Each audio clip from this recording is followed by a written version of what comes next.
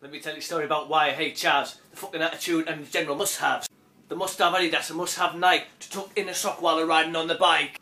Hanging around in groups, hanging around in shops, picking up the fan that somebody else drops. Now I won't go in a shop, I won't get you a bottle. Piss off your chav, go on, off your topple. I fucking hate chavs with a Blackberry phones, sitting on the bus blasting out the ringtones. Thinking that they ride because they're blasting scooter, arguing with a lass saying they're gonna boot her. So you walk past a park and they're all stood there, hands down the duds playing with a pew bear.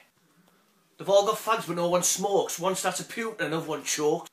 They all pack up because here come the lasses with boobs on show and the Beyonce asses. The girls are drunk, the boys are leery, asking the girls if they're bald or hairy. She says, I'll show you, but in the bushes, she stumbles in, and in he rushes. So there they stand, the fucking smell lingers, her pre-command and his fishy fingers. He gets excited as a pum-pum squirt, she tells anyone that she's going to get hurt.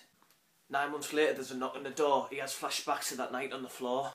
He looks at the baby, she says that it is, he starts to freak out because he's twatted on Wiz.